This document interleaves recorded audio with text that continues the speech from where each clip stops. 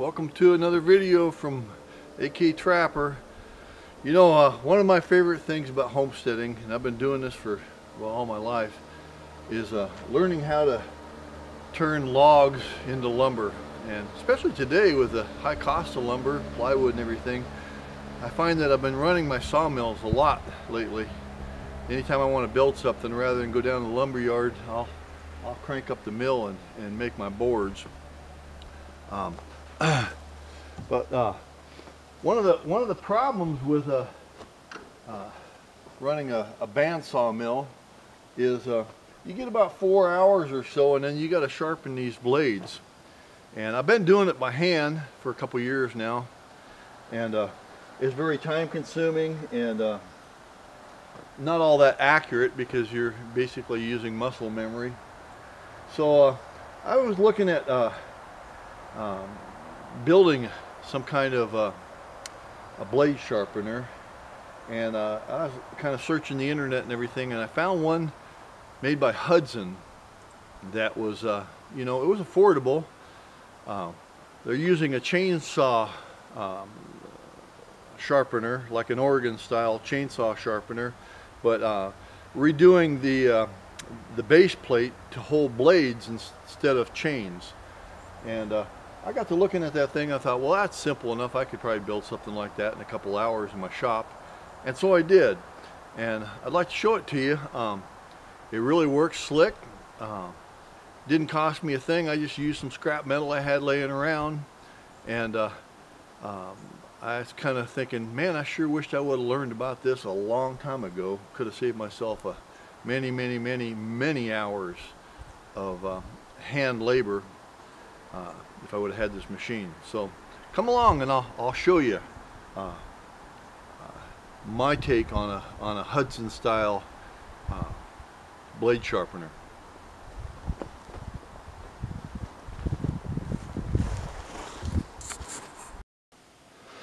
Now any anybody that runs a sawmill is probably going to have a, a chainsaw sharpener. Uh, this particular one is kind of a an Oregon clone.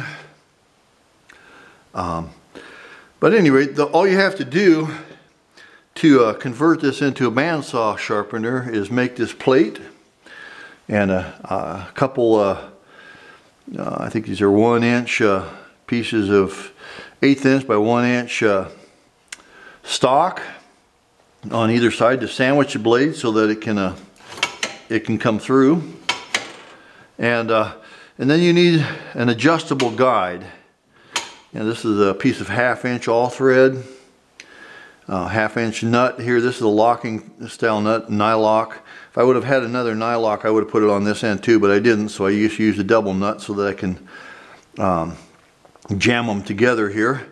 And then you adjust this so that it'll just barely shave the uh, inside of the tooth. And uh, and uh, sharpen, sharpen the tips again. Uh, works very slick. Uh, took me about maybe oh, two hours in the shop to construct this. It wouldn't have to be exactly these dimensions, but uh, I'll give you the dimensions anyways, just so you know. My plate is, uh, I believe, a 3 16 steel.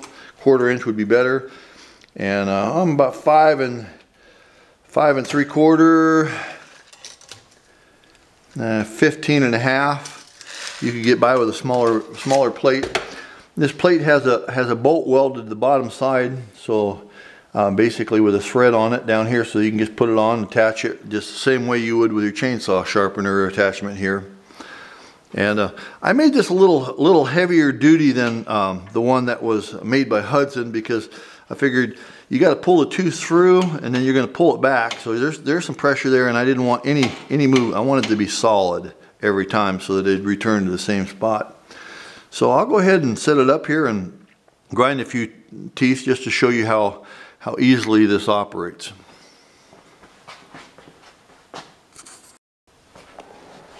All right, needless to say, you need a good pair of leather gloves, um, some safety goggles, and I like to use a respirator too, just because this thing does generate some dust. Here we go.